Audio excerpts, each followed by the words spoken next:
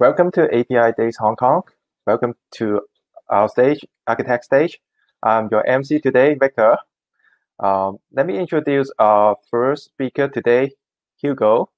He has more 20 years experience in software development. Currently, he works as APIs and messaging developer advocate in Red Hat. Today, he wants to share about building data as a services in hybrid cloud and and he is joining our our, our video. Yeah, I can see Hugo now. Can you see me, Hugo? Yes. Hello. Hello, Hugo. Uh, uh, can you share your screen now? Correct. Okay, now you should be uh, seeing my screen. Yeah, I see a screen yeah, here is your time. Okay, perfect. Thank you very much for the uh, for this uh, opportunity to talk with you and share a little bit more on this topic that really passionates me. That it's a data gateway, security, integration, and and so on. So uh, let's get started. Uh, a little bit more about me. Uh, my name is Hugo. I'm uh, currently working as an API and messaging developer advocate at Red Hat. I'm um, Mexican, based on uh, Massachusetts in the United States. Uh, so it's uh, a little bit late here in, in, in the US, but very happy to be with you. I'm uh, APIs and event-driven specialist, uh, very passionate about open source. I have been doing open source like since uh, early to 2000s, and I consider myself an enthusiast for travel, history, food. So if you want to follow up the conversation offline, or you want to just take a look at what we are sharing in Twitter. There's my Twitter handler, so you can take a look at that and uh, follow up the conversation there. So for today's session, uh, we will be talking in the following uh, minutes about these three main topics. Uh, the first one is going to be the inevitable transformation. So what is the architecture looking now for data and what are the challenges that these kind of architectures are uh, putting on top of the uh, open API economy? Uh, we will be talking about the microservices data and what are the different um, uh, type of configurations and type of uh, challenges that uh, microservices uh, and, and, data represent. And we will be talking about data gateways. What are the different types of data gateways? What are the expected capabilities of, of a data gateway? And we will certainly try to cover some of the use cases and, and how you can implement that with, with different pieces of, of software. So let's go on. And what is the big main challenge when we're talking about the transformation that most of the organizations are going through? It's basically trying to modernize this. Maybe you cannot get a clear view on, on, on the details of, of, the image, but it's basically an uh, typical enterprise architecture uh, for, for a bank, right? It's full of different systems. We're talking about that different connected applications, interfaces, one more than and one more than uh, a uh, hundred different types of data stores and databases that you need to be working with, and most of them are, are just living on their own silos, right? There's type of communication that we still need to do through file systems or very um, old type of protocols to be able to communicate and work with this type of architecture. So most of the uh, organizations out there are trying to modernize this type of uh, of, uh, of composition architectures and, and solutions. But it's it's very difficult, right? It's there are different challenges to be able to modernize this. Uh, first, there's uh, no modularity, so we have this monolithic type of application or architecture where everything is running on uh, dedicated hardware or even in just one single data center. We try to keep it just running all the time. It's very complex. It's uh, it, it, the cost to manage this kind of infrastructure is it's really complicated and it's, it's, scaling every day when we are um, moving to our kind of, of uh, architectures. So that's why uh, there's different steps on how to modernize that type of, uh, of architecture. So there are at least three very well identified ways to do that. The first one is the big bang, right? It's let's throw everything to the trash and the, start new with a with a new approach with a different provider. And that's an option for some organizations because it represents a, a high risk profile. There's, it's going to be a lot of different moving pieces happening at the same time, and you need to be aware of those. And, and your plans and your organization should be ready to mitigate all those kind of uh, challenges and risks. There's other option that it's okay. Let's uh, keep it that running as it is, and then let's move everything to the cloud.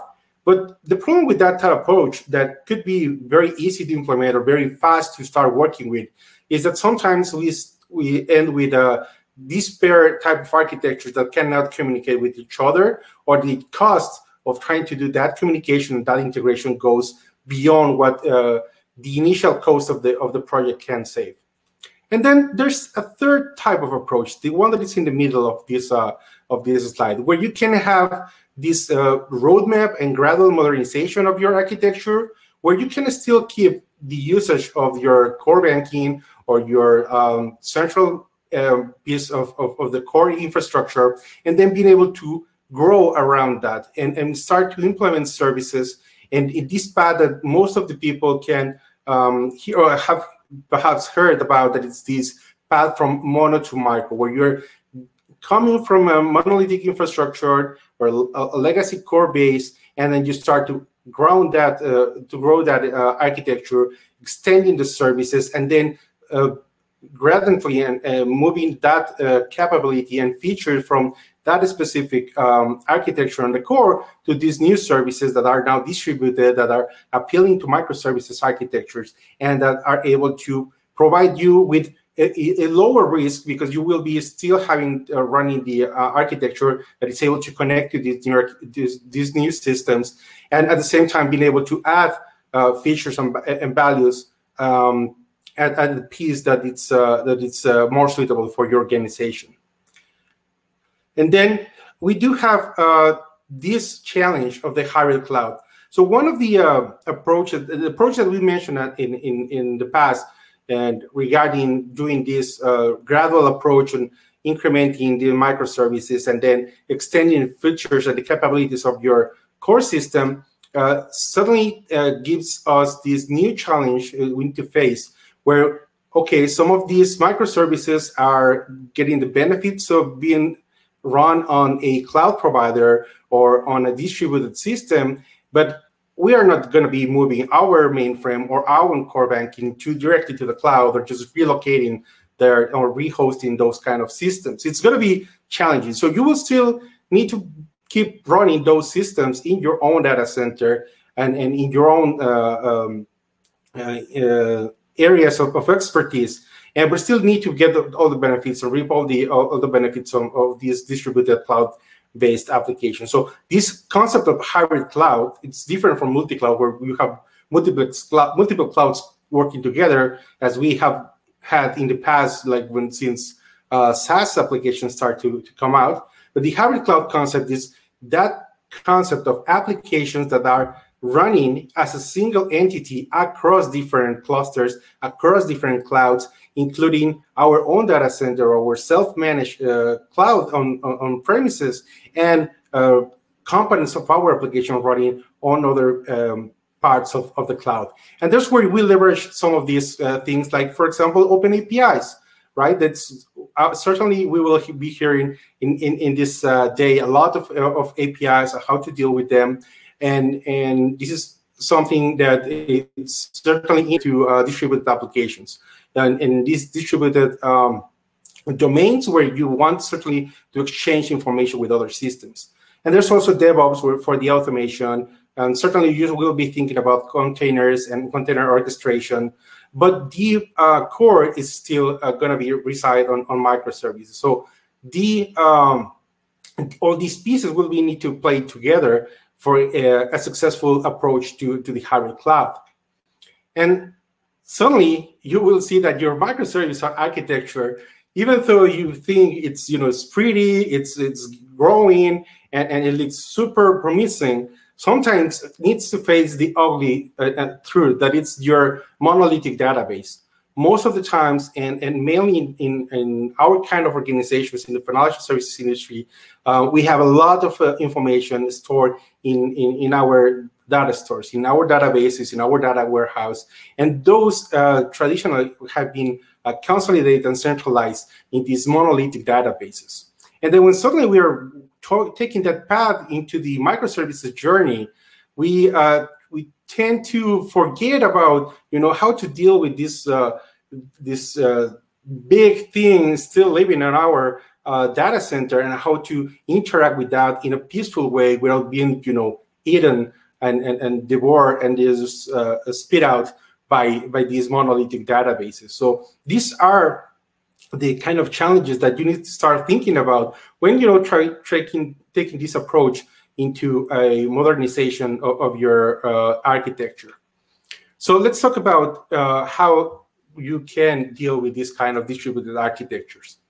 So first, we have identified that we, uh, when talking about APIs, have really get uh, mature enough as uh, as my colleague from IBM, Alan, was was uh, saying a couple of minutes ago, where APIs are now mainstream. We really don't need to do that uh, heavy evangelism that we had to do in the past about you know why API is important and so on. And, and they have actually been able to uh, solve to solve some of the challenges that we see mainly at the networking level, where you see that you have these uh, networking challenges where you need to do discovery, load balancing, where you need to do be aware that you certainly will require network resiliency. You need to do API governance you also need to add some monitoring and tracing to be able to, you know, uh, focus and, and check what is the health of your APIs and uh, the consumption of your APIs and so on. So at, at the same time, we have these networking challenges. We also need to deal with this monolithic approach or our monolithic databases or our um, core and legacy systems.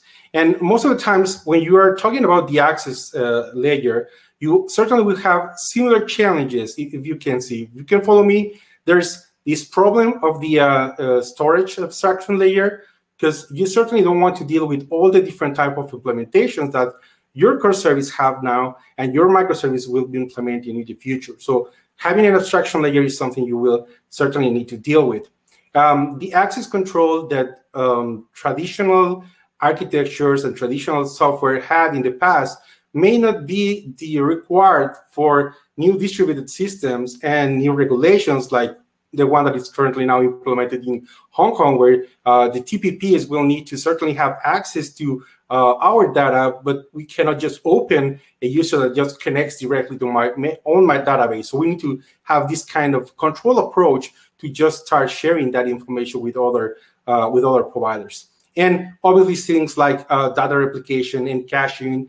Uh, when we are running on, on, on premise, uh, having a full uh, complete call from the outside cloud into my data center, it will certainly take a, a, a hit on the cost and the latency to access that information. So having federation, having an option to do caching, it's something of the challenges that we want to approach. And obviously there's an option to do data federation. But suddenly I don't, I cannot wait for the ETL to run to be able to have a full view of information that is coming from different sources. Perhaps it's coming from one operational database, and then I need to merge or sync that information with other data that perhaps is coming not from a database, but perhaps from a API or a different service that is also providing me this kind of information.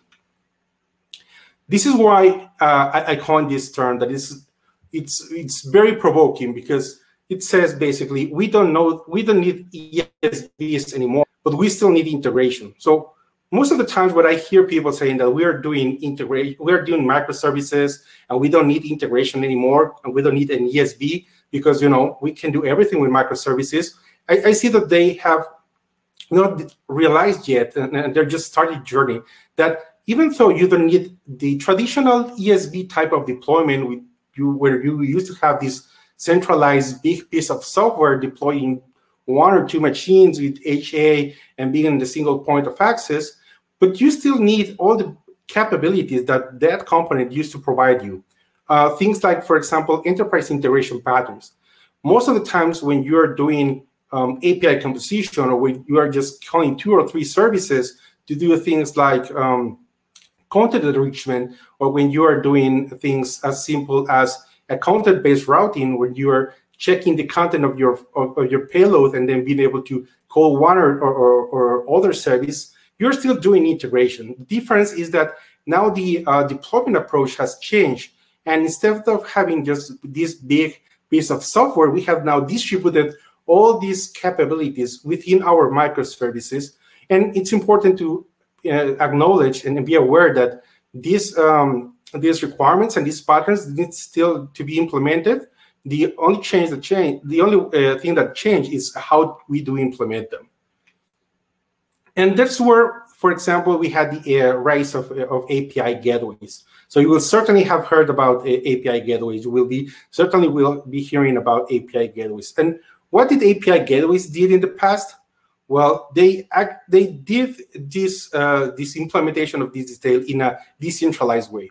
Um, most of the API gateways and API management come from the that ESB uh, tradition, but more modern API gateways, and mostly the ones that are running on things like Kubernetes and service meshes, are more distributed way where they can um, act alone independently. They don't really need to have a centralized uh, point of access. They have these control planes that allow you to have distributed um, data planes where you're deploying the gateway and then doing things like um, you know, uh, receiving the uh, different uh, requests and then apply some basic uh, authentication, uh, access control, even caching or simple transformations that don't require access to the to the real to the domain of information and, and, and, logic. So that's why they, they came very popular. And now we have the challenge of microservices data. So in these microservices data, we have the challenge of having the approach of one single database for microservices. So each microservices needs to own their own data. So they're the only ones that have control of what is the uh, the actual source of truth for the, for that information for, the, for for that data. And each one of those microservices, if we need to share information with, with our services, they have their own version of that data. So we need to be able to share the information across different microservices. And the idea is to actually be able to abstract the uh, the data store layer because most of the of, of, the times when you can see you have seen that with uh, the microservices implementations, each team is able to then select what technology they're going to be using for the implementation of your microservices. Some teams will be choosing Go or will be choosing Node.js as a way to uh, deploy and, and develop their, their, their systems. And it happens the exact same thing with the databases persistence, with implementation details. Uh, some teams will be very comfortable using um, documental uh, data store like uh, MongoDB, or some other teams will continue using relational databases like Postgres or MySQL. Other teams will be uh, having an API uh, complete approach, and then all the all the storage is going to be through uh, APIs. So there's this uh, different type of uh, implementation that you, as, as, a way to access that information, don't don't really want to go uh, on the details on how this um, this uh, data store is implemented from your applications. So there's where we can have gateways that can extract most of the content and the benefits that we have seen in the API gateways, and then translate all those uh, requirements of those capabilities into what we call now the data gateways. So, for example, when we have an API gateway that is doing this implementation uh, abstraction, this uh, contract first approach for development, doing um, load balancing, applying uh, simple uh, role-based traffic encryption, we can translate some of those features into what we call the data gateway. In this case, the data gateway allows us to have this abstraction of the uh, data source so we just see a simple traditional uh, virtual database and the implementation details are hidden from, from us. We can do also data federation. We can just present a one single unified logical view, even though the implementation details are residing in different stores. We can do some model shaping. We can do some caching and query optimization. When retrieving the information, we can do have materialized views that don't affect the uh, actual implementation store. And we can also use them as a data firewall where we can apply, as we do in the API gateway, where we can apply um, our uh, business uh, domain and specifications for rate limits or for access or for mapping on the on the method. We can do the exact same thing in the gateway level where we can be able to um, apply some control access in, at the row level or even at the column level. We can do things like, for example, masking uh, credit card numbers. Perhaps my implementation detail has the complete data uh, because it's it's residing in a, uh, in store that is fully PCI compliant, and uh, we need to expose or share that information with another system that it's not going to receive that full information and it's going to be masked to be able to be shared. But we don't want to do that in the implementation detail because that database requires a specific type of access. We can have this virtualized view at the data gateway level where we can apply all these uh, type of controls and, and, and, and masking and, and processing without having to go all the way to the uh, implementation details.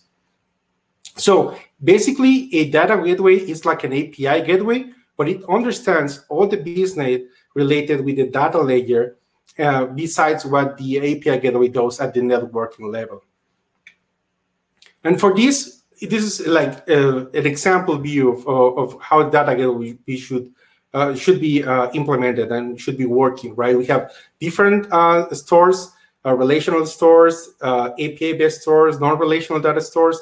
The data gateway is the point of access for all our applications, and it exposes a protocol that it's uh, that allows us to consume data easily, like for example, ODBC for BI type of users, uh, JDBC for uh, applications and, and data scientists, and API REST or OData for traditional applications that are uh, currently using those kind of protocols. So all these kind of applications access these standard protocols and then are able to access a single type of API with implementation based on on a, a, a very common and, and, known language like SQL, and then being able to query that information in a relational way. So we are looking for some capabilities in our data gateway. We want that to be able to do the abstraction and decoupling that hides our implementation and abstracts the physical source, so we can have just this virtual layer.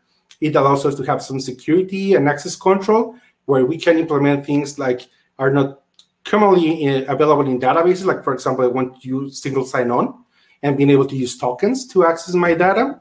At the data gateway level, we should be able to do those kind of things. Allows us to do some scaling through caching, materialized views, some federation, and of course, the contract-based type of approach for this kind of, uh, of implementations into data gateway layer is through um, standard things like, like SQL. Now, there are different type of data gateways in the market, right? There are uh, a wide range of options because data, it's difficult, right? And it's one of the most difficult things to do when doing microservices. So we have the classic type of data virtualization approach where you can find tools like, for example, Informatica that are coming from the ESB world where they're implementing this, um, this approach with a, a huge uh, footprint and, and a decentralized uh, um, structure. Then you can have uh, databases with the federation that comes out of the box.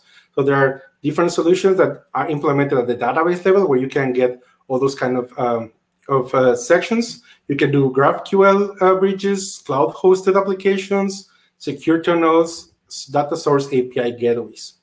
and this is, for example, where a virtual application network is important. The virtual application network works at the layer seven, where you can have different process and, and applications communicating without having to rely too much on the network topology. So for that, um, Skupper.io is a project that implements the, the uh, virtual application network map services running on, on Kubernetes clusters uh, through these proxies and then being able to access uh, through a secure tunnel and being able to access your applications in the data center as um, as well as uh, access from from the cloud. So you can have, um, sorry, you can have uh, secure data gateways with governance, where you have your monolithic application, your monolithic database, and then microservices accessing the virtual uh, layer through the data gateway, and then the data gateway just forwarding information you require for your relational database, where you can have then um, uh, uh, data migration or mono to micro type of implementations. You can do federation and abstraction, where you can have these multiple uh, data sources being able to um, be implemented and show just a unified view of those different sources without needing to copy all that information into your uh, database. And finally, things like uh, the via open banking approach, where you can see all these kind of pieces working together with data gateways being a single point of access to then having your microservices architecture, your uh, RAP legacy, or even your proxy legacy available. So this is the final takeaway. I really want you to take this, is that data has gravity. It requires granular access control to have really control of your data it, it, because it is difficult to move. You, you cannot change the location of your data from cloud to premise from one to place to another. And certainly, as we mentioned, the hybrid cloud approach it's required. So it becoming a, necessity to be able to have this kind of approach for accessing data that it's hybrid and allows you multiple cloud providers. So thank you very much. I really appreciate the time that uh, I was able to spend with you. And here's my uh, Twitter and my information if you want to follow up, ask so many questions. So thank you very much, Victor. So I don't know if there's any questions or. Okay, thank you, Hugo. Thank you. This is a very informative, and I think it's very useful if someone uh, use it in their next data project. Um, um, I have one question to want to ask about. I know that uh, there is uh, API gateways, and you, you, you talk about the data gateways. Some of the function are duplicate I want to ask about how to maximum the benefit in the both side if we apply into our project.